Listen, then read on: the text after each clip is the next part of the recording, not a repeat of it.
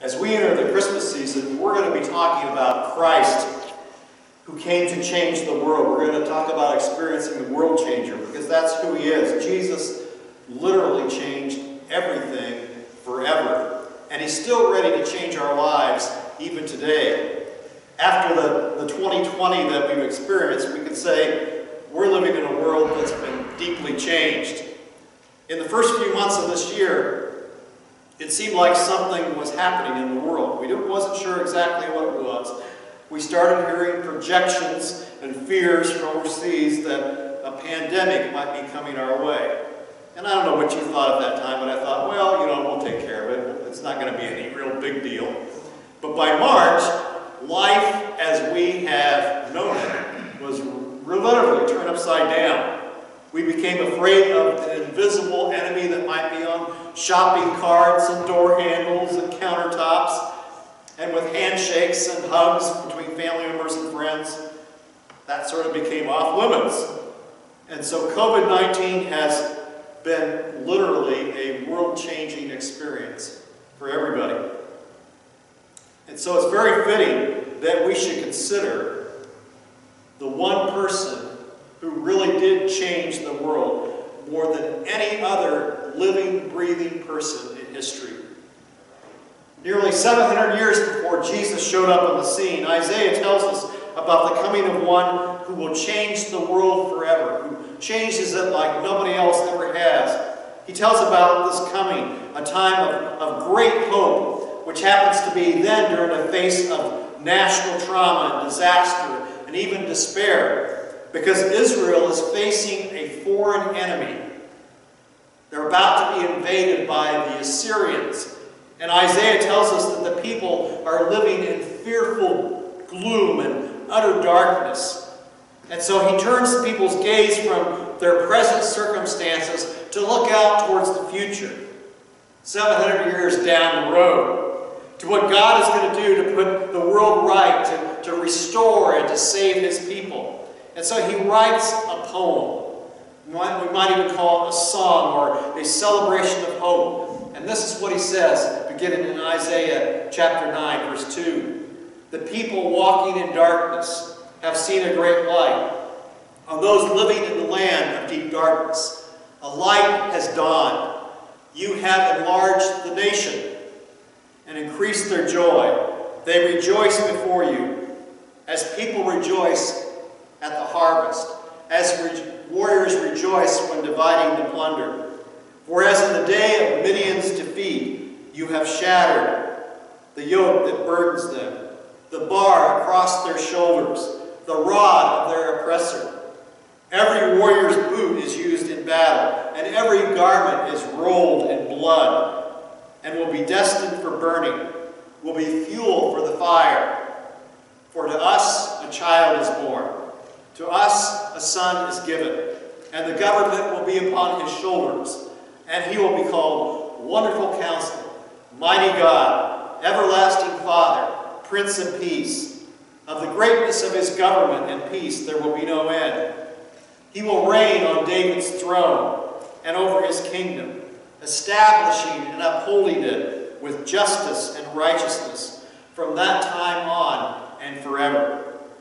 The zeal of the Lord Almighty will accomplish it. And so Jesus entered the world to change it forever. And he wants to enter every person's life to change their life forever. The sad truth is, we live in a broken down world, a sin filled world. And this is really our never ending pandemic. It has affected all of our lives because of sin, we might even think God doesn't want anything to do with us anymore. Dr. Ed Tronick, director of an infant parent mental health program, discovered something that has been affecting our lives for thousands of years. He performed what is known as the still face experiment. Watch what happens. Babies this young are extremely responsive to the emotions and the reactivity and the social interaction that they get from the world around them. This is something that we started studying 30, 40 years ago when people didn't think that infants could engage in social interaction. And then still face experiment, what the mother did was she sits down and she's playing with her baby who's about a year of age. Oh And she gives a greeting to the baby, the baby gives a greeting back to her. This baby starts pointing at different places in the world and the mother's trying to engage her and play with her. They're working to coordinate their emotions and their intentions, what they want to do in the world. And that's really what the baby is used to. And then we ask the mother to not respond to the baby. The baby very quickly picks up on this, and then she uses all of her abilities to try and get the mother back. She smiles at the mother. She points because she's used to the mother looking where she points. The baby puts both hands up in front of her and says, What's happening here? She makes that screechy sound at the mother, like, Come on, why aren't we doing this?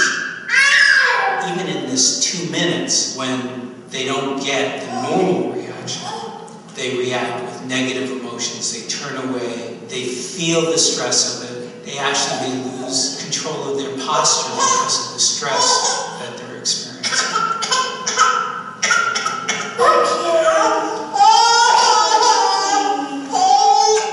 I'm here. And what are you doing? Oh, yes. Oh, good girl. It's a little like the good, the bad, and the ugly.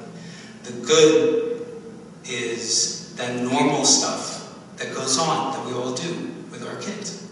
The bad is when something bad happens, but the infant can overcome it. After all, when you stop the still face, the mother and the baby start to play again. The ugly is when you don't give the child any chance to get back to the good. There's no reparation, and they're stuck in that really ugly situation. So Dr. Tronick asked the mother to sit down and play with her one-year-old as she normally would, giving her daughter her attention. And she does this, and then as she saw, she's asked to turn away, and she turns her face back, but she doesn't respond. The, the still face, she has to be completely blank, no matter how hard her daughter is trying to get her attention. And right away, the little girl senses that something's wrong. And so she's trying to point things out of the room, as he says. But now her mother's face doesn't change. It's motionless. She doesn't seem to be interested or to even care. Panic grows on the girl's face. She tries to reach out and touch mom's face. She wants to know things are okay, but mom doesn't respond. And so the child turns away. Her arms are flailing. Her mother doesn't respond. No, not knowing what else to do, she breaks out into this uncontrollable rage of tears and screams. She's inconsolable. She hides her face. Her heart is crying out. You know, watching that is really, it's really sort of heartbreaking. But you and I have more in common with that child than you might think. Because Christmas is about Jesus coming to a child, as a child, to forever change our world. Because of our brokenness and sinfulness and helplessness and the darkness of the world, we might think that God has turned his face from us. And so we might fear looking into his eyes because we're filled with a shame that wants to hide and turn away from ourselves. In his Heart Takes research, Bill Senyard reflects on years of studying 20 and 30 year olds.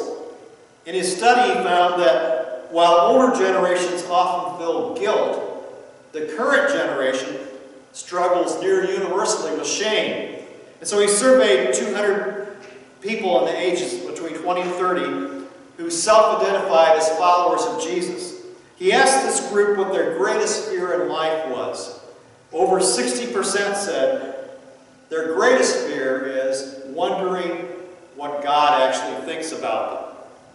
Here are some real responses from real people who are following Jesus, yet they're filled with shame. One person says, I'm afraid that I'm not good enough. Another says, do I really, do I really deserve love from anybody? Another one, God, are you pleased with me? Or God, how disappointed are you in me that I didn't listen to your direction and I went my own way? Or why do I feel like I'm not worth anything?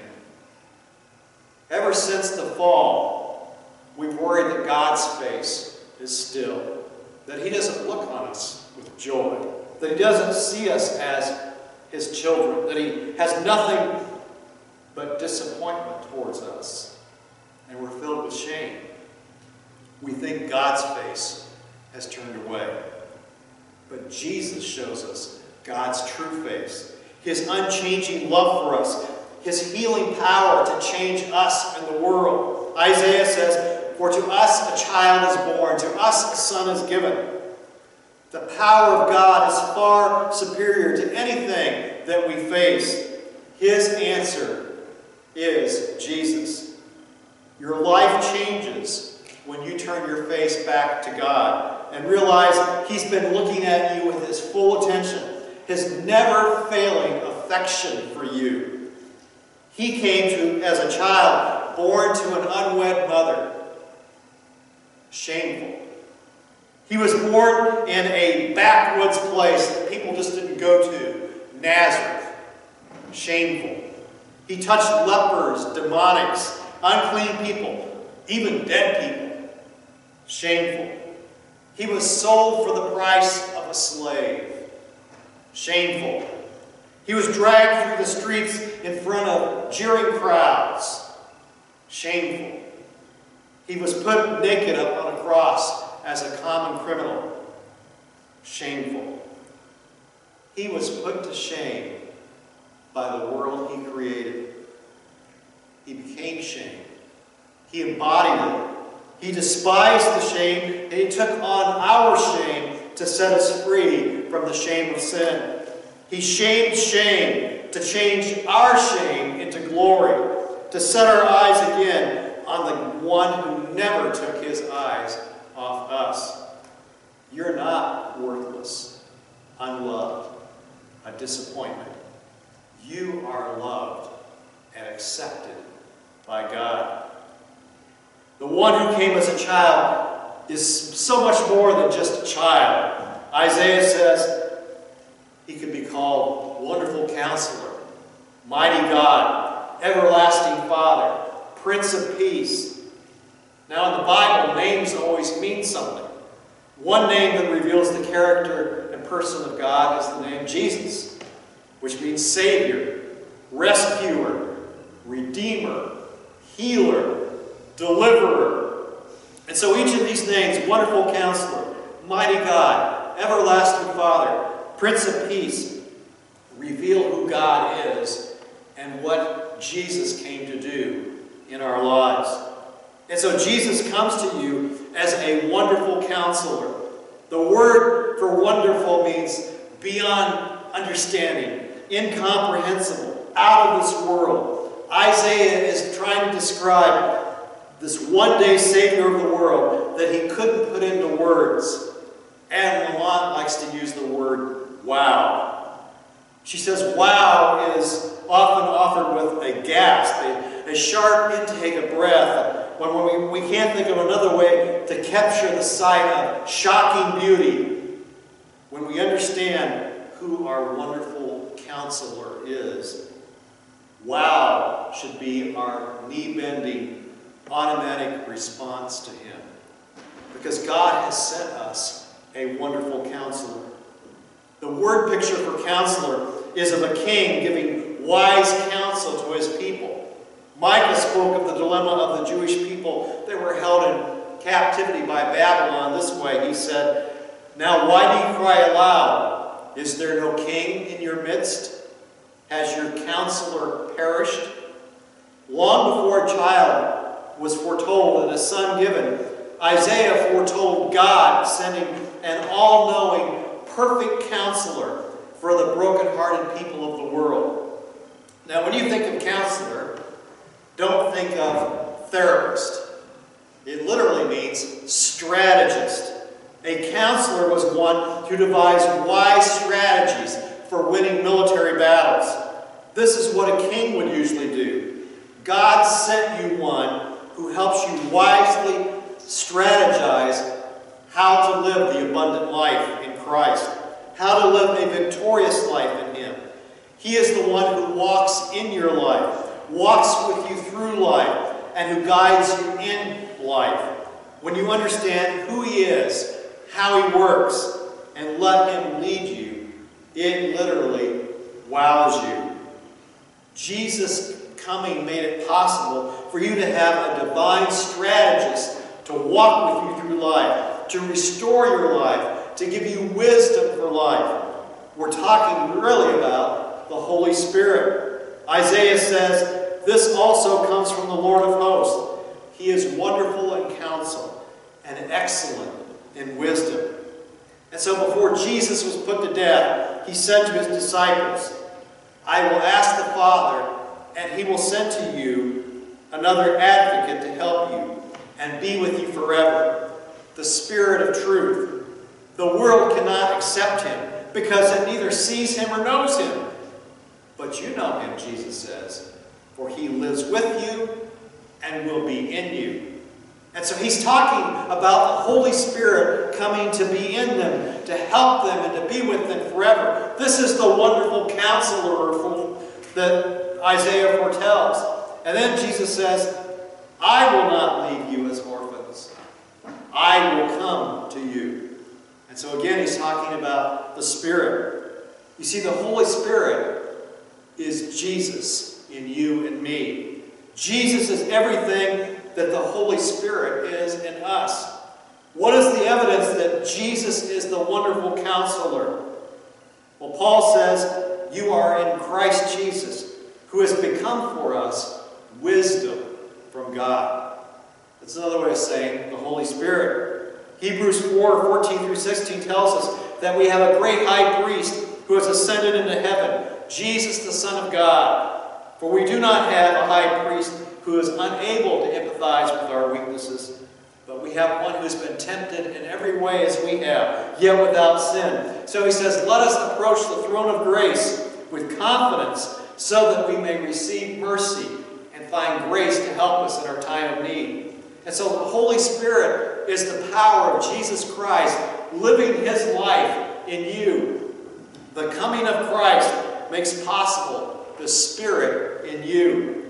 And so the Bible encourages us to seek out wise counsel and strategy for living our life.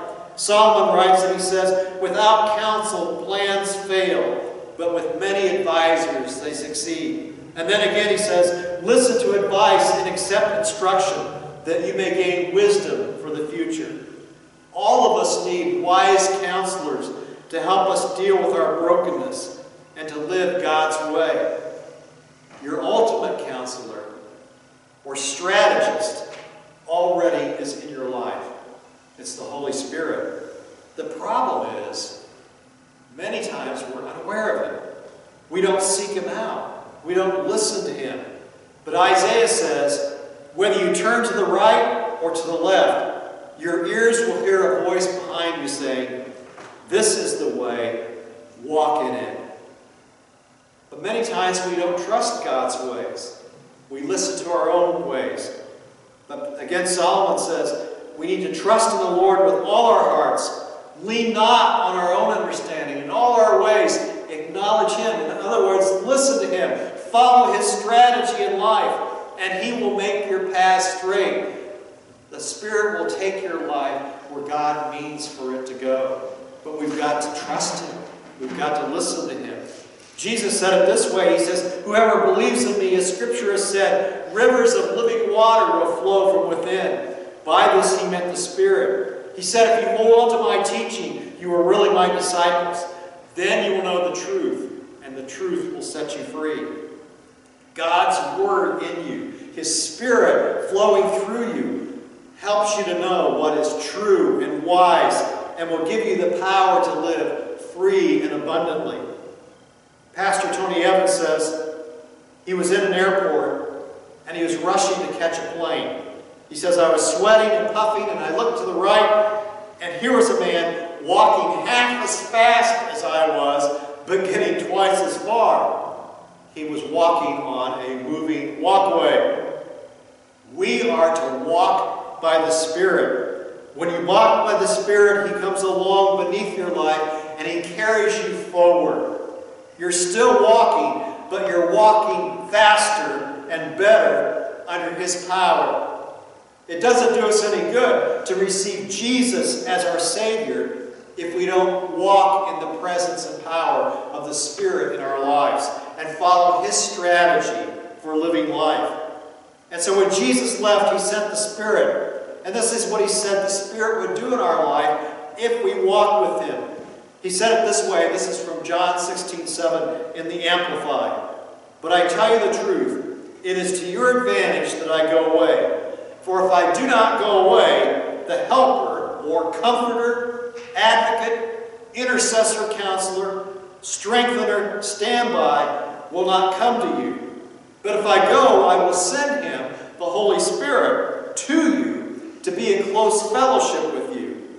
And so the Holy Spirit is God's face toward you. The Holy Spirit comforts you like nobody else can.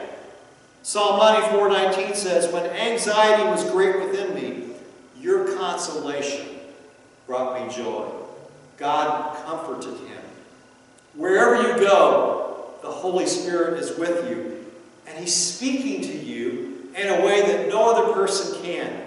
He's speaking in you, He's speaking words of comfort to you, He's reassuring your soul, He's speaking the truth of God's Word, He's counteracting feelings of fear and doubt and discouragement. And sometimes He uses other people to comfort you in the same way that He's comforted them. And so Psalm 119, 76 says, May your unfailing love be my comfort according to your promise. The Holy Spirit is also your advocate and intercessor. An advocate is someone who pleads your case when you can. Suppose you end up in the hospital and you need somebody to stand in and be your advocate for you in circumstances where you're powerless to do anything yourself. They, an advocate represents you. They, they're there to speak for you and, and to help make decisions that best benefit you. The Holy Spirit will advocate for you or send someone to speak for you. He is there for you. God is always there for you. Romans 8, 26 and 27 says, God's Spirit is right alongside helping us along. If we don't know how to pray, He does. It doesn't matter. He still does our praying in and for us. Makes prayers out of our worthless sighs, our aching aches. God understands us and communes for us when we can't do it on our own. He knows us far better than we know ourselves. He knows our gravest condition. He keeps us present before God. The Holy Spirit is also an all-knowing, wise, perfect counselor. Oswald Chambers says, we should get in the habit of continually seeking his counsel in everything. The Holy Spirit will give you wisdom. If any of you lacks wisdom, James says, he should ask God, who gives generously and without finding fault, and it will be given to him. We must actively seek his mind. Jesus says the Holy Spirit will guide you into all truth. God knows the right way for you to go in life. The psalmist says, the Lord says, I will guide you along the best pathways for your life. I will advise you and watch over you. The Holy Spirit is also your strengthener.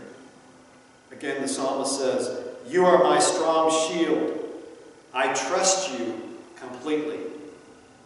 Anne Graham Lotz says that when she was growing up, there was a ridge near their home in North Carolina where either the trees stood straight and tall or they all were broken on the ground.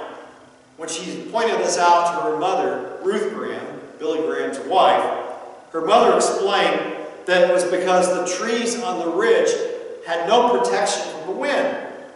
With nothing to break the wind's force, the, trees either grew strong enough to resist the pressure or they broke and fell to the ground. The Holy Spirit can strengthen you on the inside if you lean on Him. That is why Paul says, For Christ's sake, I delight in weaknesses, in insults, in hardships, in persecutions, in difficulties. For when I am weak, then I am strong. The Holy Spirit gives you inner strength under pressure. You persevere and overcome because of the power of the Spirit in you. The Holy Spirit is your standby. You can rely on Him. He's always there for you, especially in emergencies. Psalm 46 1 says, God is our refuge and strength, an ever present help in trouble. The word for helper is paraclete. The Holy Spirit is your corner man. He's always there in your corner when it seems like you're in the fight of your life and nobody else is there to stand by you. He's got your back. Christ is in your corner. He sees your need and He's coming for you. Just after Jesus fed the 5,000, He put His disciples in a boat and He sent them across the Sea of Galilee. Later that night, He saw the disciples straining at the oars because the wind was against them. Shortly before dawn, He went out to them walking on the lake. He was about to pass them by, but when they saw Him walking on the lake, they thought, he was a ghost. They cried out because they, they all saw him and were terrified. Immediately he spoke to them and said, Take courage, it is I. Don't be afraid. He climbed into the boat with them, and the wind died down. The Spirit is standing by, right where you are. When the wind and the waves get strong and you're straining at the oars, He's right there, giving you courage and stamina, helping the storm to inside of you to die down. There's a French movie called The Untouchables. It's about this unlikely friendship. A fellow named Driss is fresh out of prison. He has no intention of working, but every week he has to go around and get signatures from prospective employers to make it look like he's looking for a job, and so the state will support him. One job he applies for is as a personal aide and nurse to Philip, a wealthy man who, has, who became quadriplegic because of a paragliding accident. Driss doesn't really want the job, he's just there for the signature. He's not qualified. He pushes to the front of the line because that's what he's there for, just to get the signature. Philip takes the forms and tells him to come back the next day. Well, Driss comes back, but he can't believe it. Nobody else is there, and Philip hires him on the spot. He, there's no way he can do this job, he thinks.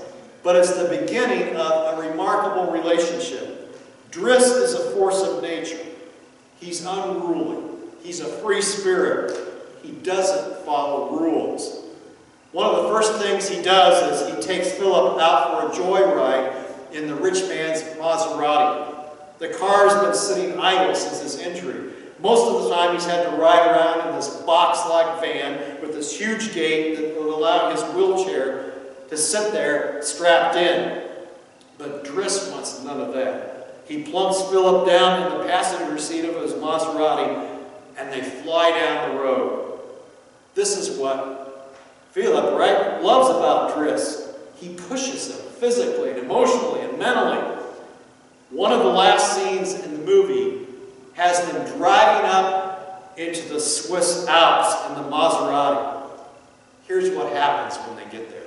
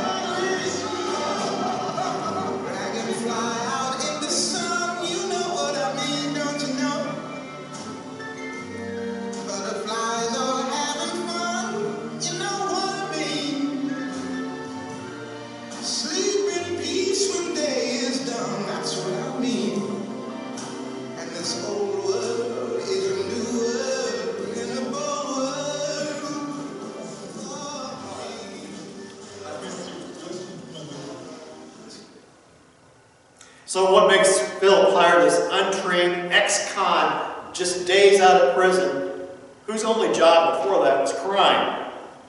Well, Driss doesn't see Philip's limitations, only his possibilities. Driss is a lot like the Holy Spirit because the Spirit blows into our life, He rearranges everything, He becomes our closest companion. He does in us and through us exceedingly abundantly more than we can ask or imagine because we recognize His presence in us. We allow Him to release His divine life in us and through us. He doesn't see our limitations. He sees our possibilities. If Driss is like the Holy Spirit, it took Philippe's injury to let Driss in and to turn him loose. And so your sins, your brokenness, your wounds, your difficulties, your dark experiences are the Spirit's opportunities to be turned loose in your life.